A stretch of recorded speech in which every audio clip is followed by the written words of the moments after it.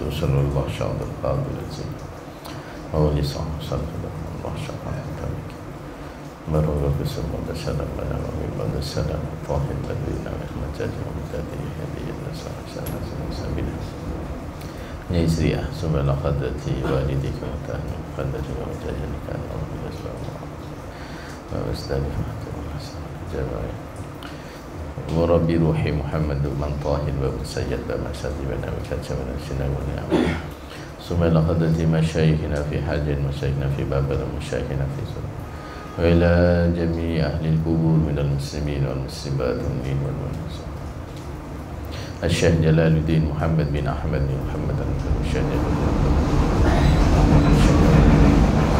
الفاتحة. أعوذ بالله من الشيطان الرجيم. بسم الله الرحمن الرحيم. الحمد لله رب العالمين. الرحمن الرحيم. مالك يوم الدين. إياك نعبد وإياك نستعين. اهدنا الصراط المستقيم. صراط الذين أنعمت عليهم غير المغضوب عليهم ولا الضالين. ربي اغفر لي ولوالدي وللمؤمنين. آمين. surah Al Imran ayat 81 hingga ayat 83 A'udzu billahi minasy syaithanir rajim Bismillahirrahmanirrahim وإذ أخذ الله ميثاق النبيين لما آتيتكم من كتاب وحكمة لما آتيتكم من كتاب وحكمة ثم جاءكم رسول مصدق لما معكم مصدق لما معكم لتؤمنن به ولتنصرنه. قال أقررتم وأخذتم على ذلكم إصري قالوا أقررنا. قال فاشهدوا وأنا معكم من الشاهدين. فمن تولى بعد ذلك فأولئك هم الفاسقون. أفغير دين الله يبغون وله أسلم من في السماوات والأرض وله أسلم من في السماوات والأرض طوءا وكرها وإليه يرجعون. صدق الله العظيم. Bismillahirrahmanirrahim. Wa id akhadallahu nabiyyina wa id akhadallahu mitsaqan nabiyyin. Wadhkur lan nutura sira Muhammad id akhada semangsane ngalap sinten Allahu Allah. Misaqan nabiyyina ing pira-pira ing janji pira-pira nabi. Ai ahdahum teksin janji anabiyin lama ataitukum semangsane paring sapa ingsun Allah kum ing sira kabeh. Lama utawi lafal lama bi fathil lami iku kelawan nganggo fathalame diwaca lama. Lil ibtidai krana faida ibtida ibtida niku minangka awalan.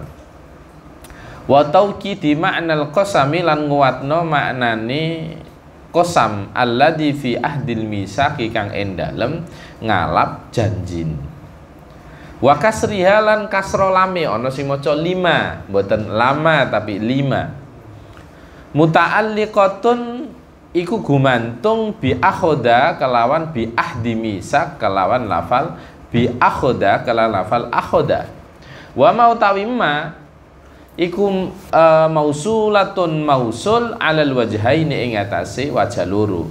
Ai lilladzi ataitukum tegese marang suwiji-wiji ataitukum kang sampun paring sapa ingsun Allah kum ing sira kabeh iyahu ing ya iki alladzi Wa fi qira'atin nan iku dalam siji bacaan atainakum utawi lafal ataina. Ana sing maca ataitukum, ana sing maca atainakum. Min kitab nyatane saking kitab wa hikmatin lan hikmah. Summa jaa mongko nuli nekani kum ing sira kabeh sapa rasulun utusan musaddiqun kang benerno lima marang barang ma'akum kang sartane sira kabeh minal kitab binyatane saking kitab wal hikmati lan hikmah. Wa wa utawi ki rasul Muhammadun iku Kanjeng Nabi Muhammad sallallahu alaihi wasallam. Anu napa niki? Yang kita bahas pada malam hari ini ini temanya tentang bahwa Allah Subhanahu wa taala mulai Nabi Adam sampai Nabi akhir zaman yaitu Nabi Isa alaihissalam kemudian Nabi Muhammad sallallahu alaihi wasallam itu semua sudah pernah diambil sumpah sama Allah bahwa mereka adalah akan selalu ya, akan selalu niki membenarkan atas apa saja yang kemudian rasul-rasul di bawahnya termasuk di dalamnya Nabi Muhammad Shallallahu Alaihi Wasallam. Ibaratnya tidak saling bertentangan. Peh de Rasul engkau umatnya gak oleh melok Nabi setelah setelahnya. Terus itu sudah dijanji sama Allah. Wa Muhammad sebutkan kepada mereka id akhadallahu misaqan nabiyyina lama ataitukum min kitab Ketika aku kasih mereka kitab, mereka sudah aku janji untuk apa? Untuk membenarkan rasul yang akan datang setelah mereka. Lah niki sinten? Nabi Muhammad sallallahu alaihi dengan bayangaken Nabi Muhammad yang belum lahir ibaratnya belum ada di dunia sudah diberitahukan kepada nabi-nabi sebelumnya supaya nabi dan umat-umatnya harus beriman kepada Nabi Muhammad sallallahu alaihi wasallam. Jadi berita Nabi akhir zaman itu wis no sebelum-sebelumnya. Wis no terus turun teman bahwa ini nanti akan sambung sinambung terus. Maka kemudian mereka ketika dijanji seperti itu dan mereka membenarkan latuk minunna yukti podo iman sopo siro yukti iman temen siro bihi kelawan iki rasul kalian harus iman kepadanya walatan surunna hulan yukti podo nulungi sira kabeh. Hu ing iki rasul. Kalau kamu berjumpa dengannya maka bantunya bantu dakwahnya. Banyak kalau kita konteksnya tidak hanya Rasulullah banyak rasul-rasul yang sifatnya semasa. Contoh Nabi Musa kali Nabi Harun. Semasa. Nabi Harun bantu Nabi Musa. Wonten Nabi semasa tapi medan dakwanya berbeda karena itu adalah muridnya sinten? Nabi Lut. Kali Nabi Ibrahim. Niki napa niki semasa? Tapi ibaratnya semasa mboten sami kados uh, kulo kali konco kulo sing sak umuran mboten. Iki antara guru dengan murid. Tapi medan dakwanya berbeda. Dengan ketika nanti digambarkan Allah akan menurunkan adab nggih? Menurunkan adab uh, hujan batu kepada kaumnya Nabi Lut itu Nabi Ibrahim perso. Dikandani kalau malaikat Jibril. Itu semasa. Tapi beda medan dakwah.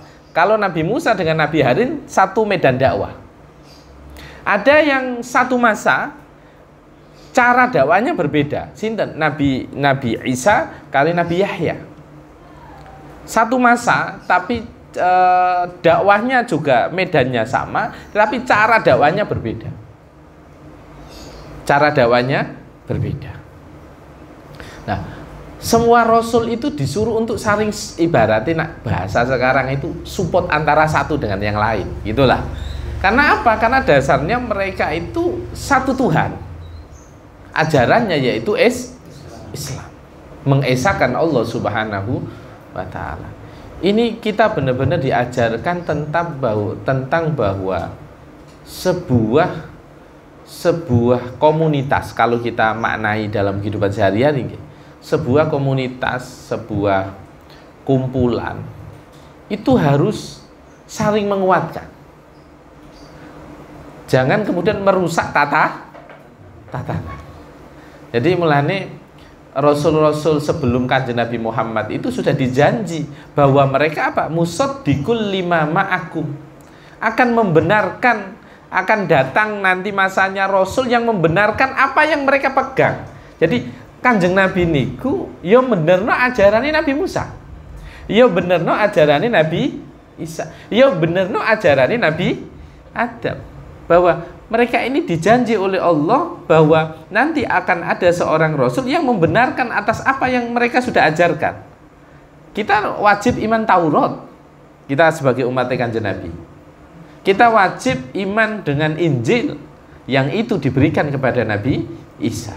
Kita wajib iman kepada kitab Zabur yang itu diberikan kepada Nabi Dawud. Dan suhuf-suhuful ambiya lampiran-lampiran yang diberikan oleh Allah kepada para nabi termasuk suhuf Ibrahim, suhuf Musa itu ada semua dan kita wajib mengimani dan itu ternyata sudah diperjanjikan oleh Allah kepada para nabi sebelum kanjeng nabi wonten ing donya. Ini luar biasa. Ngaten nggih. Utawi lafal la tu'minunna. Jawabul qasami iku jawabe qasam.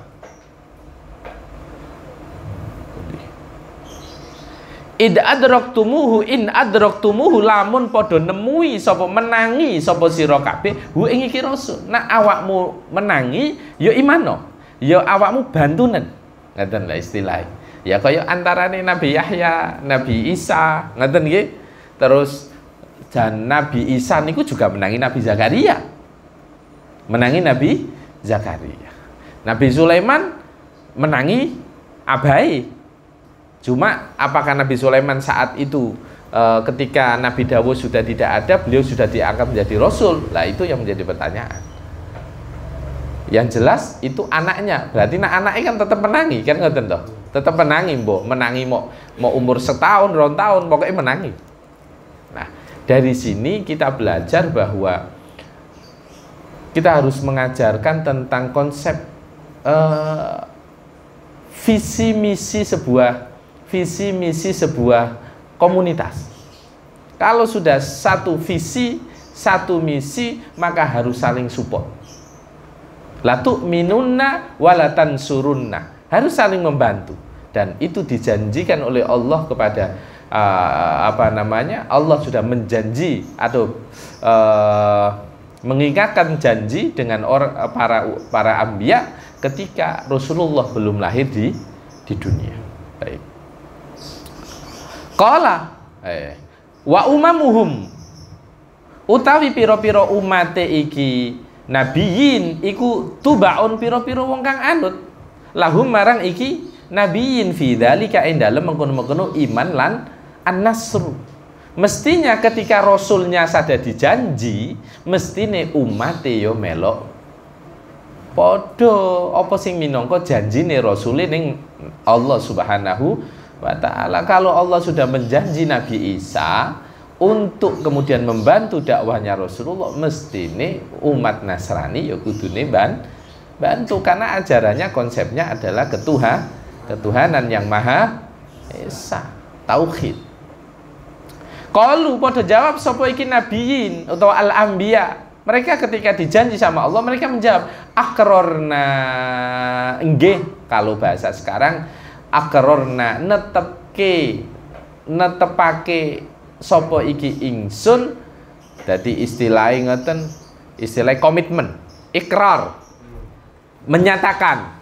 Nggih ngeten istilah dalam artian siap. Lah ikrar itu dalam artian menerima. Kola jawab sinten Gusti Allah? Fashadu mongko padha nyeksenono sira kabeh. Oke sekarang kamu sudah mengatakan ya maka saksikan itu ala anfusikum mengatasi piro-piro awak dhewe ira kabeh wa ikum lan piro-piro pengikuti sira kabeh bidalika kelawan mengkon-mengu janji iman lan bantu Oke, kalau memang kalian sudah akrarna, sudah berikrar juga iya, maka saksikan bahwa kalian dan pengikut kalian akan beriman dan membantu perjuangan nih Rasul yang akan datang itu.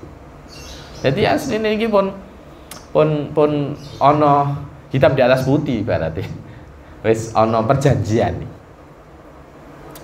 Wa ana utawi ingsun Allah ma'akum sartane iku sartane sira kabeh ma'akum sartane sira kabeh iku minas syahidina setengah saking pira-pira wong kang padha nyekse Aku juga menyaksikan alaikum ing atase sira kabeh wa alaihim lan ing atase napa niki iki pira-pira nabi. Jadi aku juga menyaksikan itu. Faman mongko ta sapane wong tawallaiku mengu sapa man ay a'radha tegese mengu sapa man ba'da dalika dalam sak batin mengkon-mengkon janji lan komitmen niku wau. Ayil misak tegese janji. Ayil misak tegese janji. Faulaika mongko ta mengkon-mengkon man hum ya ulaik al fasikuna iku wong kang fasik kabeh. Kalau kemudian sudah berkomitmen kemudian mengingkari apa yang menjadi komitmennya namanya fasik. Fasik niku wong iman tapi sing sering nerjang komitmen. Eh matui perintah ngedui cegah. Ini kan komitmen. Melenceng. Lah niku wong kok sering ngoten niku namine fa fasik Islam tapi jarang sholat. Islam tapi bujuan lah niku namine fasik ngoten nggih? Jadi kalau kita dalam Al-Baqarah itu kita mengenal ada al-mukmin, ada al-kafir, ada al-munafik, maka kalau mukmin sudah jelas golongan kanan kafir golongan kiri al munafik niki abu-abu tapi intinya dia masuk kelompok kafir juga. Karena apa yang diucapkan itu palsu. Yang dan itu bahkan untuk menipu. Menipu yukhadi'unallaha walladina amanu. Untuk mengelabui bagaimana supaya mereka dianggap beriman tapi esensinya tidak beriman. Kalau fasik wong sing beriman tapi sering maksiat. Lah niku namanya fa fasik lah wong fasik niku mesti faula ika dilmun. Mereka adalah orang-orang yang menganiaya dirinya sendiri. Afa ghaira dinillah. Ana ta ing liyane agamane Allah ya guna padha amping sapa iki wong utawi yab guna bil ya ana sing maca nganggo ya wa ta ilan ta ana sing maca nganggo ta ayil mutawalluna tese wong kang padha mingung kabeh. Wa ta ilan ta ana sing maca yab guna ana sing maca tabguna wa ilaihi eh pundi niki? Uh, walahu lan iku tetep kedue Allah. Aslama pasrah sapa man wong fi samawati kang ing dalem pira-pira langit wa ardi lan bumi tauan eh, kelawan patut patuh bila ibain tegese kelawan tanpa mamang wakarhanan krono uh, napa niki nyerang bisaifi kelawan pedang wa muayanatima lan ningalake ing barang yuljiu kang ngungsiake napa nggih? Uh, apa iki? Ma ilaihi marang uh, ilaihi marang iki mlebu agama agamane Gusti Allah Wa ilaihi lan iku marang Gusti Allah wa ilaihi lan marang Gusti Allah yurjaun den balekno sapa iki man. Utawi yurjaun iku bita ya ana sing maca nganggo tak wal ya ilan ya berarti turjaun yurjaun wal hamzatu tai hamzah lil ingkari iku krana makna ing ingkar. Pun. Dados ngeten. Tiang niku nak pun komitmen kok meleset namine napa mau fa fasik jadi ngingkari apa sing menjadi komit komitmen. Lah tiang-tiang sing lebet agama nih Gusti Allah niku carane nggih macam-macam. Ana sing memang mantep tanpa apa pun, ada yang memang lewat peperangan. Ya, lewat peperangan. Ini contohnya kaya kaya Sayyid Abbas, pamane Kanjeng Nabi piyambak. Niku tim perang Badar dadi tawanan.